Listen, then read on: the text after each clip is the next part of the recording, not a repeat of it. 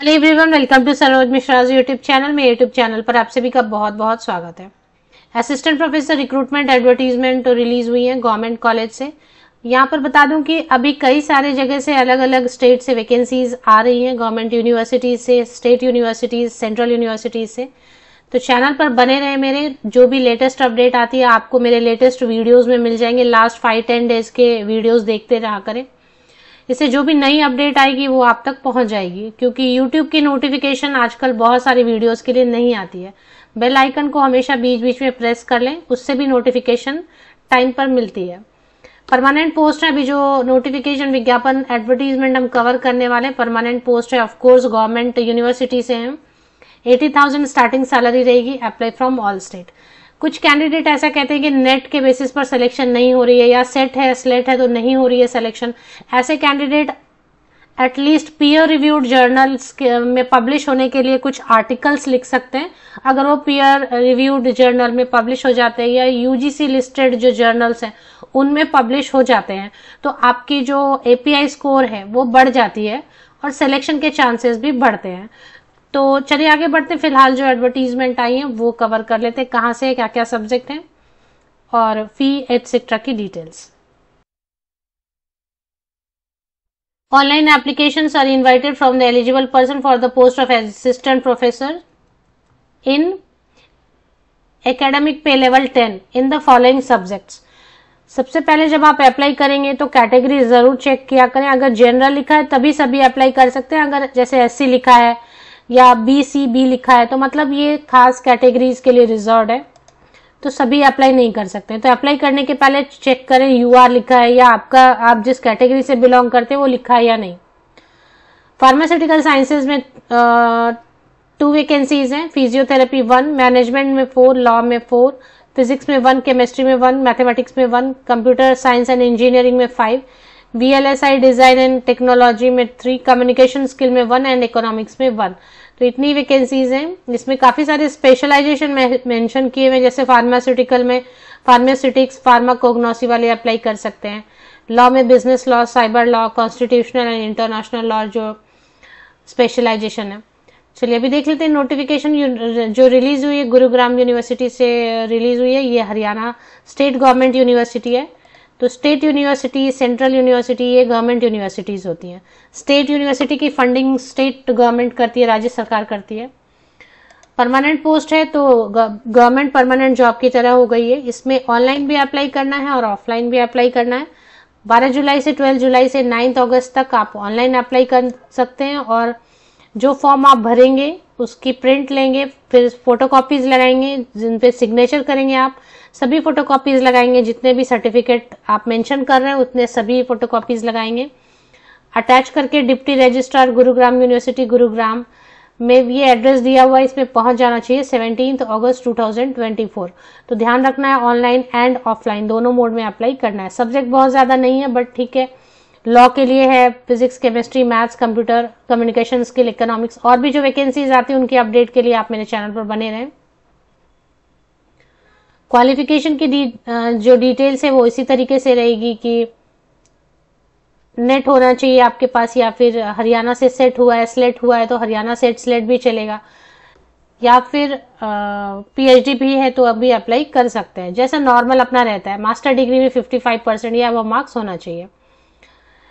Good academic record candidates having 50% and above marks in MA or MSc or LLM in the relevant subject and PhD degree. तो खैर PhD नहीं भी है तो net वाले तो अप्लाई कर सकते हैं, जैसे एज पर रूल जो अपना रहता है।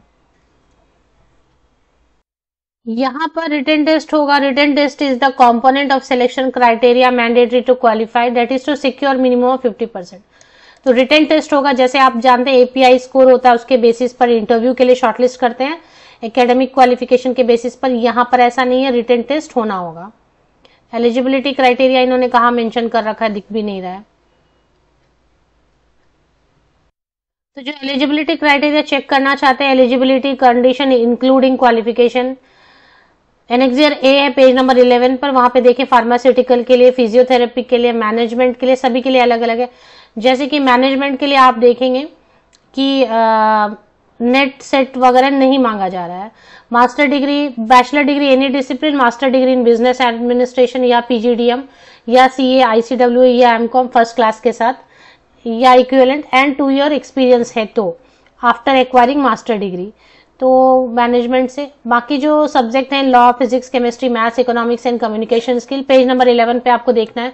मास्टर डिग्री 55 परसेंट या अब मार्क्स के साथ नेट होना चाहिए, हरियाणा सेट या सिलेक्ट होना चाहिए, या फिर पीएचडी होनी चाहिए।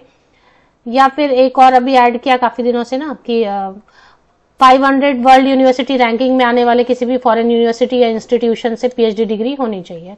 इंजीनियरिंग सब्जेक्ट्स के लिए अलग रहता है नेट सेट की ज़रूरत नहीं होती है बी बी टेक या बी एस है and M E M tech या फिर एम एस है या फिर इंटीग्रेटेड एम टेक है तो और कहीं पे भी एक जगह फ़र्स्ट क्लास होना चाहिए, यानी कि बैचलर में या फिर मास्टर डिग्री में तो आप without NET SET PhD apply कर सकते हैं। तो इंजीनियरिंग सब्जेक्ट के लिए ऐसा नहीं रहता है। Criteria and process of shortlist selection और शॉर्टलिस्टिंग तो शॉर्टलिस्टिंग के लिए ऐसा है, लेकिन इसमें written test application of those candidate who qualify the written test will be entertain for evaluation of eligibility Only eligible and test qualified applicants will be considered for shortlisting and of presentation and interview. तो written test तो एक qualify करना ही होगा। Written test जब आप qualify कर लेंगे, फिर ये जो है ना, ये एपीआई स्कोर वगैरह ये सब कैलकुलेट करके फिर इंटरव्यू के लिए बुलाएँगे। तो इनका थोड़ा सिलेक्शन क्राइटेरिया अलग है। अब इसमें एप्लीकेशन प्रोसेस ऑलरेडी शुरू हो चुकी है तो ये गुरुग्राम यूनिवर्सिटी है स्टेट यूनिवर्सिटी है, हरियाणा में है। जॉब से करियर्स में भी देख लेते मैंने देखा नहीं अभी तक। मुझे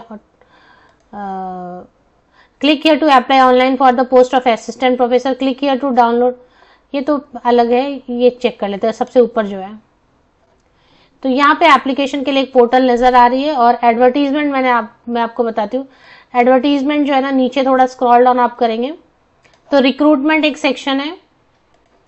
ये रिक्रूटमेंट सेक्शन है रिक्रूटमेंट सेक्शन में एडवर्टीजमेंट दी हुई है। रिक्रूटमेंट में व्यू मोर पे आप क्लिक कर लें एक बार। तो व्यू मोर पे आप जैसे क्लिक करते हैं तो व्यू मोर पे जैसे आप क्लिक करेंगे तो एडवर्टीजमेंट आती है।